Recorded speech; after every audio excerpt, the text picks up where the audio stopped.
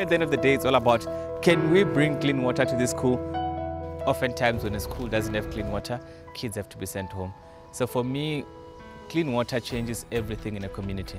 My name is Murendeni Mafumo. I am the founder of Kusini Water in Johannesburg, South Africa.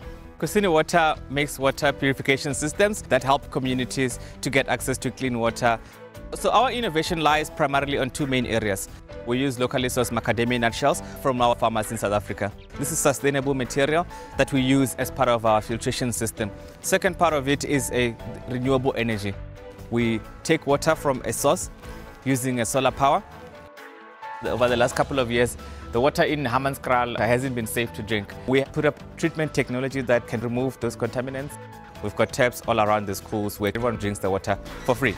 Second access point is what we call a pure water kiosk. The Pure Water Kiosk is a community-facing kiosk which allows for the community itself to come and refill their cans. We've got about 50 sites in South Africa. So every single month, we produce 3 million liters of water. We want to see a future where each and every community is able to get its own water that is sustainable.